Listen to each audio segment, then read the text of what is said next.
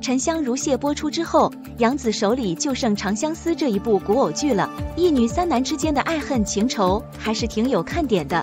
而《长相思》的原著作者桐华也是一个写作的高手，《步步惊心》就是出自他手。《长相思》是一部 S 级的项目，一直被看好。但从近日释出的一分半钟预告中，杨紫给人的感觉实在是一言难尽。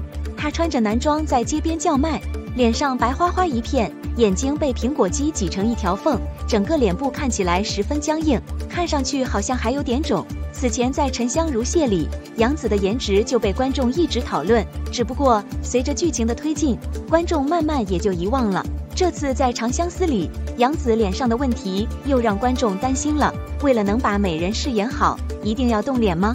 此前，杨紫在《青云志》里演的绝世美人陆雪琪就被观众群嘲过脸部肿胀、情绪表达不到位，直到后来香蜜播出，才挽回了对她不好的话题。